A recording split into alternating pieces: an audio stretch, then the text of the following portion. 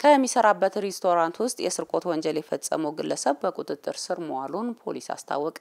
ረዳት ሳጅን አባይነህን የማየው ዝርዝር አለው። ግለሰቡ የወንጀል ድርጊቱን የፈጸመው በንፋስ ስልክ ላፍቶ ክፍለ ከተማ ወረዳ አንድ ለቡ አካባቢ በሚገኘው የግል ግሮሰሪ ውስጥ ነው።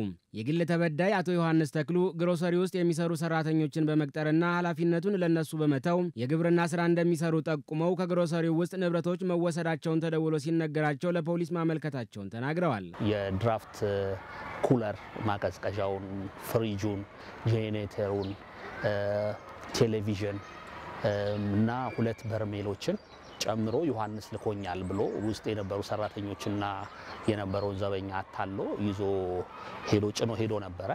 ጭኖ ሄዶ እኔ በማግስቱ በ11 ጠዋት ነበረ የሰማሁት። በ11 ጠዋት ከሰማሁ በኋላ እዚህ ሙዚቃ ቤት ፖሊስ ጣቢያ መጥቼ አመለከትኩ እና ካመለከትኩ በኋላ በዚህ በፖሊሶችም በመርማሪውም በምርመራ ክፍል ኃላፊዎችም ክትትል በሁለተኛ በሶስተኛ ቀን ጥቆማ በጥቆማ ጥቆማ በጥቆማ ብዙዎቹ እቃዎች ማለት ኩለሩ፣ ቴሌቪዥኑ፣ ጄኔሬተሩና ቴሌቪዥኑ ተይዘዋል። ፖሊስም የተበዳይን አቤቱታ በመቀበልና የምርመራ መዝገብ በማደራጀት የስርቆት ወንጀል ፈጽሞ የተሰወረውን ግለሰብ ከሰረቃቸው ፍሪጅ፣ ጄኔሬተርና ቲቪ ጋር በቁጥጥር ስር በመዋል ምርመራ እያጣራ እንደሚገኝ የለቡ አካባቢ ፖሊስ ጣቢያ ወንጀል መርማሪ ምክትል ሳጅን ታሪኩ አለማየሁ ተናግረዋል። information ካገኘን በኋላ በዛ መረጃ መሰረት በፖሊስ ክትትል ተይዘው ንብረቶቹ exhibit ኦቹ ተይዘው ምርመራ እያጣራን እንገኛለን። ህብረተሰቡ ወንጀል ሲፈጸምበት ወዲያው ለጸጥታ አካል መጠቆም ይኖርበታል ያሉት አቶ ዮሐንስና መርማሪው ከፖሊስ ጋር ያለውን ቁርኝት የበለጠ በማጠናከር የሚፈጸሙ ወንጀሎችን ለመከላከል ጥረት ማድረግ ይኖርበታል ብለዋል።